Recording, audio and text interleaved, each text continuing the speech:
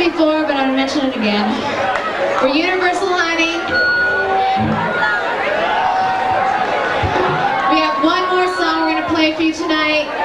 And uh, 54 Ford here coming up.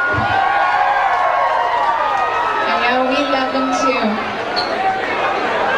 The song's from our new record, coming out in stores on Tuesday.